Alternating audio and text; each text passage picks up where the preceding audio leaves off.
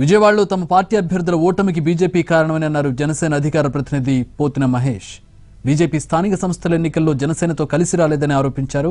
బీజేపీతో పొత్తు వల్ల మైనార్టీలు తమకు వ్యతిరేకించారని చెప్పారు. బీజేపీతో పొత్తు వల్ల గెలిచే స్థానాలు ఓటమి పాలయ్యాయని ఆవేదన వ్యక్తం చేశారు. బీజేపీ నాయకత్వం తమకు సహకరించలేదని అన్నారు. దీనిపై అధినాయకత్వానికి నివేదిక అందజేస్తామన్నారు మహేష్.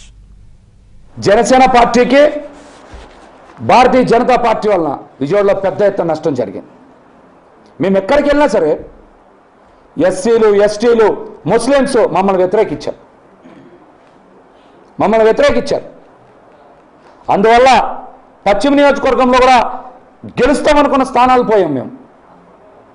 గెలుస్తామనుకునేటువంటి స్థానాలు కూడా కోల్పోయాం. మేము ఏం తప్పు చేసాం ప్రచారం బాగా చేయలేదా? కరోనా టైంలో ప్రజలకు అండగా నిలబడలేదా? ప్రజా సమస్యల మీద పోరాడలేదా? ప్రజలకు అండగా నిలబడలేదా? మేమేం చేయలే?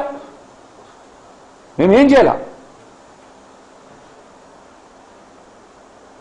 ఇదంతా ఆవేదనే.